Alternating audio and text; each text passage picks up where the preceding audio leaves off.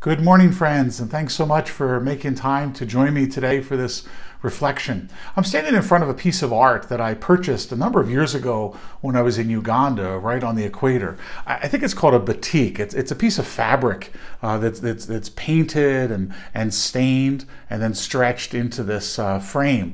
I like to tell people that the, the piece of art only cost me a few dollars, but the framing cost me near a hundred dollars, right? Praise God for the capitalism of America each time I walk by the painting, I'm not only reminded of the great love that Jesus Christ has for me, that he was willing to die for us in the gift of salvation while we're still sinners, but, but the other thing that I'm reminded of is the woman who made it.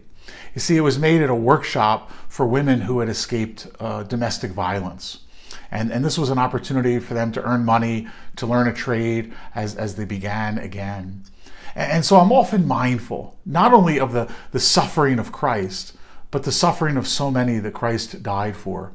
And as we endure this time of pandemic, it's easy for us to think, okay, well, I'm quarantined at home. And for most of us, it's really not that bad of a situation. But for so many women, so for so many children, their, their time of quarantine is quite difficult because of domestic violence, because of addiction issues, because of tight space and confinement there's other people who are suffering in other ways, totally unrelated to this virus, people dealing with other health challenges, other health problems. And again, some are very great and, and, and some are small, but suffering is suffering. And, and as Christians, we're called to bring our suffering to the cross. Right? Paul says, let us make up in ourselves that which is lacking in the suffering of Christ. Of course, nothing is lacking in the suffering of Christ. The sacrifice that he made here is perfect in every way. What's lacking is our surrender, our giving over. And, and, sometimes when I'm walking past the image here in the hallway of our office, I, I like to imagine that the woman who made this somehow experienced not only a, a path to financial security by doing this piece of art, but, but in, in creating this beautiful piece of art, she united herself more and more to Jesus.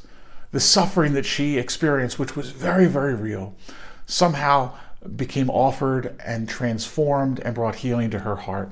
Each and every single one of us are dealing with something. Each and every single one of us have some bit of suffering to bring to Jesus today. Please do that. Think of it now as we come before this beautiful image and, and just pray with me, friends.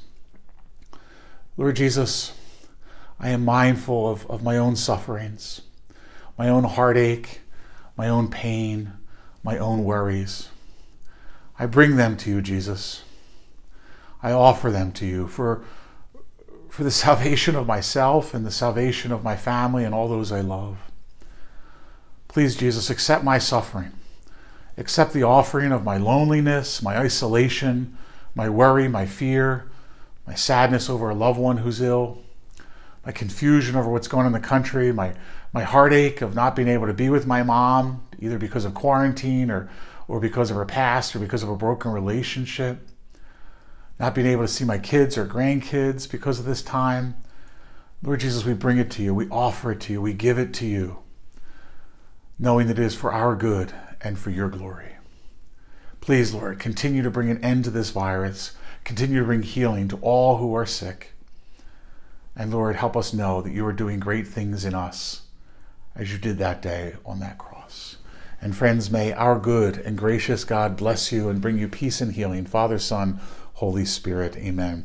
No St. Raymond Live uh, tonight, Friday night. We're going to put that on hold for a while while we're doing the Bible studies on Wednesday. Praise God. Please join us on Sunday for Mass, and we'll be getting the Rosary at uh, 945 on Sunday.